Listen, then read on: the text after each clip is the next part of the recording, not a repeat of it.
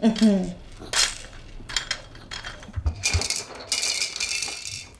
Hi. Okay. Say hi. Say hi. Hi. yeah. When you have a special needs child, you don't know what to expect. The pregnancy with Layonni, it was kind of hard when someone tells you she might have all these complications or might not even survive. Good job, huh? And she came out perfect.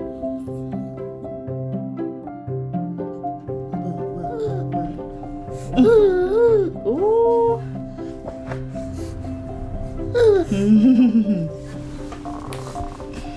I don't think she wanna do What?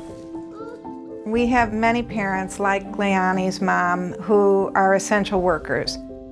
To be home full time with a special needs child puts an additional strain on the families. We have to keep providing as many services as we can during this time.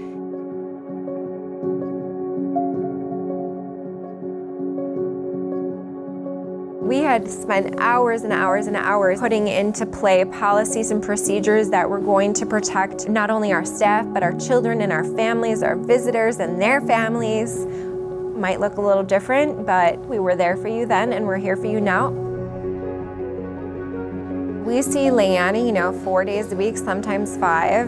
Mom can go to work full time. She's able to get nursing care and therapy care. Her brain is being stimulated as well as her muscles. The more we work on these pieces, the more she'll be able to communicate with others as well. She is able to move her head and move her arms, and she can throw things. In children like Layonni, these are huge milestones. I have hopes for her to do everything that a child could do. Whenever she get there is when she get there. Even if I have to hold her for the rest of her life, I'm fine with that. As long as she healthy and happy, that's okay with me.